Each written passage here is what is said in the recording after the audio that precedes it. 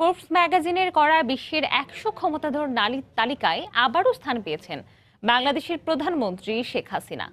মঙ্গলবার প্রকাশিত তালিকায় প্রধানমন্ত্রী শেখ হাসিনা ছাব্বিশতম স্থানে রয়েছেন।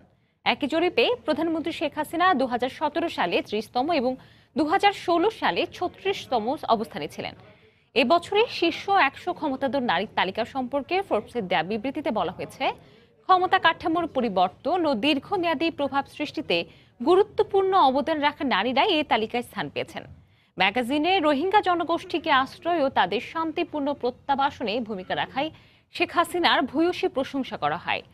টানা অষ্টমবারের মতো এই তালিকায় এক নম্বরে রয়েছে জার্মানির চ্যান্সেলর অ্যাঙ্গেলা মার্কেল